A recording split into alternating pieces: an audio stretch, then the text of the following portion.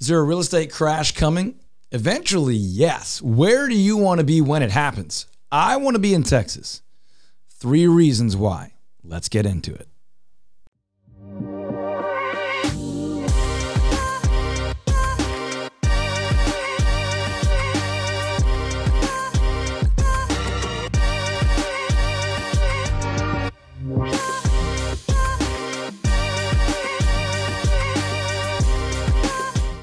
Hey folks, Todd Tramonte here. Three reasons I want to be in Texas if and when a crash comes to the real estate market.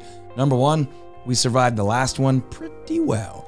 2008, 9, 10, depending on where you were, we had a nationwide, worldwide economic crisis. Most people will refer to that as the mortgage crisis or the financial crisis of 2008. And uh, the truth is, Dallas Fort Worth real estate prices fared relatively well. There was a few areas where if you really dig into the numbers, we saw some slight dips in property values, but for the most part, our market basically hit pause. It didn't really tank, it didn't really dive, it just kind of stalled and there was not a lot of appreciation. Yes, we had some foreclosures and short sales because some people were buying homes irresponsibly and then they had to sell them or they couldn't make their payments, but property values really didn't dive much. Um, even when banks turned around to put properties on the market, they generally held value, barely slipped, or gained a little. And then we began to recover much quicker than a lot of the rest of the country. So if you fear something like that, just know even that we survived pretty well. I don't think there's any economics, economist or real estate commentators right now thinking that we're headed towards anything like that. But eventually, something like that might happen. And the case is that in almost all historical real estate cycle downturns, Texas and specifically Dallas Fort Worth have fared really, really well. Number two, overall, the cost of living in Texas is relatively low compared to the rest of the country, especially compared to what a lot of people would call a livability score or the overall value and benefit of living someplace.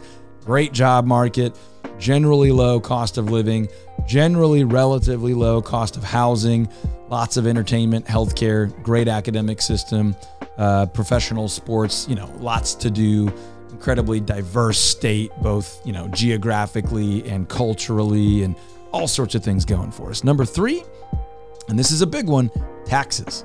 We do not have a state income tax, and we don't have a lot of the bogus additional taxes that a lot of states have imposed uh, or abused their citizens with. Depending on how you look at that, you might not use the term abused.